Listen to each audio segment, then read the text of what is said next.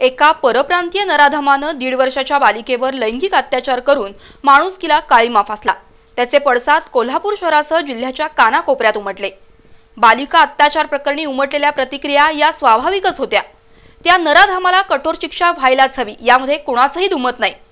पण एका परप्रांतीयानं निष्कृत्य केलं म्हणून मोलमजुरीसाठी आणि पोटाची खळगी भरण्यासाठी आलेल्या निरपराध परप्रांतीयांना शोधून त्यांना अमानुष मारहाण करणं त्यांचं इथलं अस्तित्व नष्ट करणं कितपत योग्य आहे असा प्रश्न सर्वसामान्यांच्या मनामध्ये उपस्थित झालाय.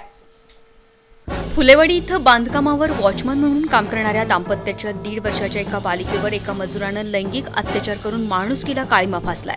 परप्रांतीयांकडून हे घृणास्पद कृत्य झाल्यानं कोल्हापुरात संतापाची लाट पसरली आहे. एका परप्रांतीयानं हा प्रकार केल्याचं कळताच शिवसेना आणि मनसेच्या कार्यकर्त्यांनी परप्रांतीय विरोधात मोहीम उघडली.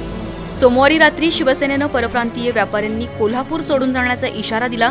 हे वृत्त सर्वच न्यूज चॅनलवर झळकलं आणि मनसेच्या कार्यकर्त्यांना चेव चढला. मंगळवारी तर या कार्यकर्त्यांनी अक्षरशः धुडगूस घातलाय. परप्रांतीयांना शोधून त्यांना मारहाण करण्यास सुरुवात केली. ज्या ठिकाणी परप्रांतीय मजूर राहतात त्या घरात जाऊन दिसेल त्यांना मारायला सुरुवात केली. एका परप्रांतीयाच्या दुष्कृत्याची शिक्षा विनाकारण अन्य निरपराधांना भोगावी लागली. मनसे कार्यकर्त्यांच्या धुडगुसामुळं कोल्हापूर शहर वेठीला धरलं गेलंय.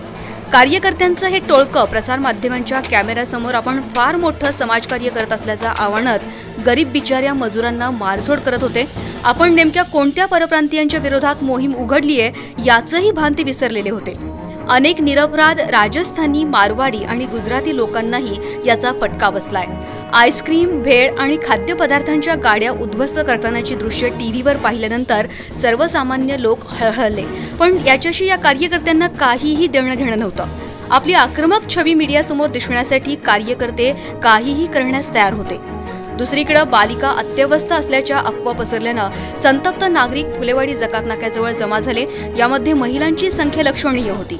सर्व महिलांमध्ये झाल्या प्रकाराबद्दल मनस्वी चीड होती. त्यावेळी काही अतिउत्साही तरुणांनी दगडफेक केल्याचं निमित्त झालं आणि पोलिसांनी महिलांसह नागरिकांवरही लाठी हल्ला केला. परिस्थिती नियंत्रणाखाली आणण्यासाठी पोलिसांचं हे कृत्य योग्य होतं असं समर्थन करता येईल. पण सर्वसामान्यांवर दंडुकीशाही करणारी पोलीस यंत्रणा मनसे कार्यकर्ते धुडगूस घालत होते त्यावेळी कुठे गेली होती असा प्रश्न निर्माण होतोय. सोमवारी रात्री मनसेच्या कार्यकर्त्यांचा खळ्ळ फटॅक पाहिल्यानंतर मंगळवारी पोलिसांनी खबरदारीची उपाययोजना करून त्यांच्या मुसक्या आवळणं गरजेचं होतं पण शांततामय मार्गानं आंदोलन करणाऱ्यांवर मर्दुमकी गाजवणाऱ्या पोलिसांनी मनसेला उघड सूट दिली आणि त्यांचा आत्मविश्वास विश्वास दुणावला. मनसेच्या कार्यकर्त्यांनी इमारत बांधकामावर काम करणाऱ्या गोरगरीब मजुरांकडे मोर्चा वळवला आणि तिथल्या कामगारांना पिटाळून लावलं.